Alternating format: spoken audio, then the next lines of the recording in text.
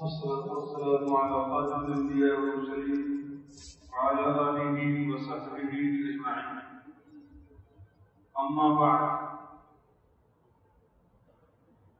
ظهر الفساد في البر والبحر بما كسبت أيدي الناس صدق الله العظيم میرے قابل قدر بزرگوں یہ بڑی چھوٹی آفتیں جو آسمان سے نازل ہوتی ہیں، انسانوں کی بدعمالیوں کی وجہ سے، انسانوں کے گناہوں کی وجہ سے، انسانیت جب سرکشی پہ آمادہ ہوتی ہے،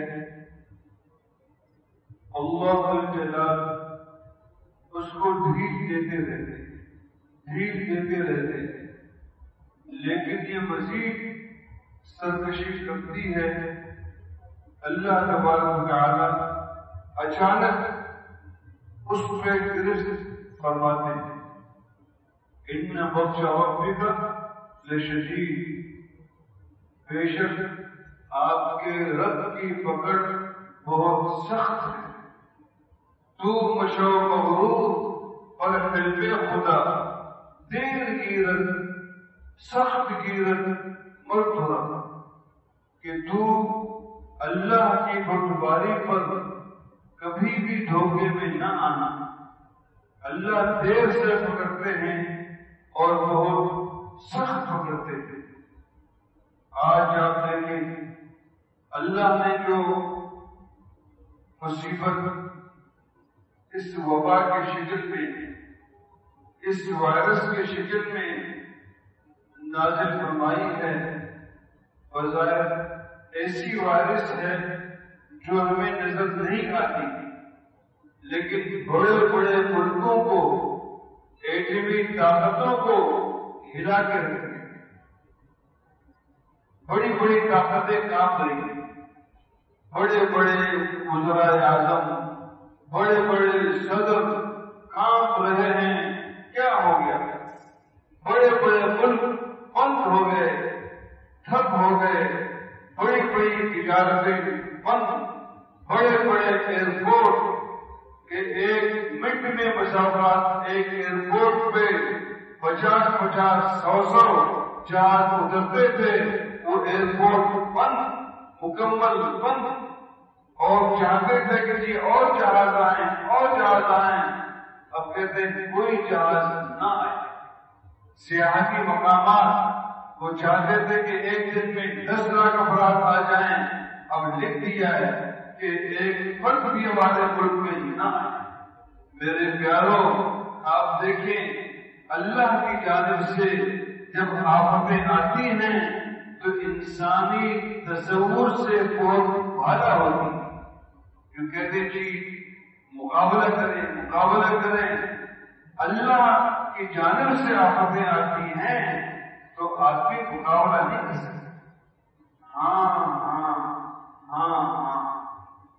ایک طریقہ ہے، ایک طریقہ ہے۔ وہ کیا طریقہ یہ ہے کہ جیسے تیر ایک آدمی پھینک رہا ہے، اس تیر سے بچاؤ کا طریقہ کیا ہے؟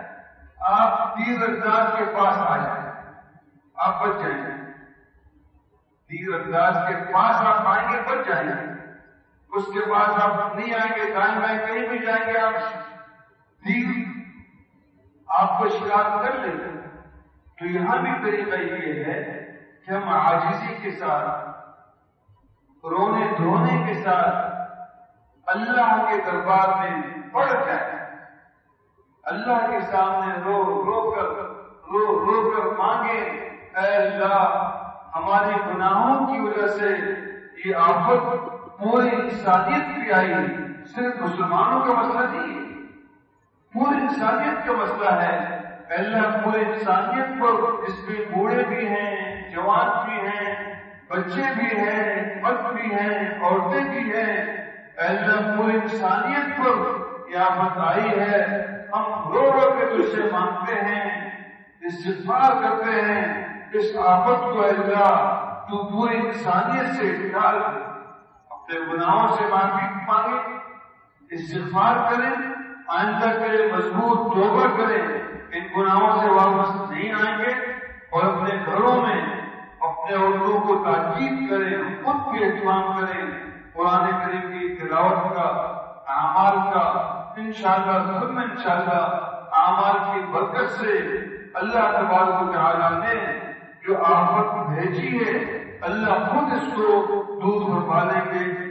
اور دوسری بات یہ ہے کہ حکومت کی طرف سے جو تدابیر ہم سے کہی گئی ہیں، جن احتیاطی تدابیر کے لیے حکومت نے ہم سے کہا، اس کی بھی پابندی کریں کہ اپنے گھروں میں رہنے کا ایک دوسرے سے زیادہ نہ ملنے کا ذکر حکومت نے ہماری ہمدردی ہی میں۔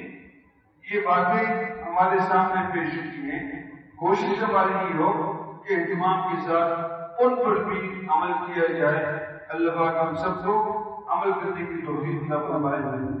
دعا فرمائے اللهم صل على السلام تبارك يا ذا الجلال والاكرام رب اغفر وارحم وتجاوز وتكرم إنك انت العزيز الأكرم.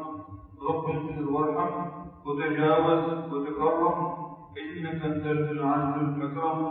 رب اغفر وارحم وتجاوز وتكرم. إنك تنزل عنه الأكرم. صلى الله عليه وسلم على خير خلقه محمد وعلى آله وصحبه أجمعين. برحمتك يا أرحم الراحمين.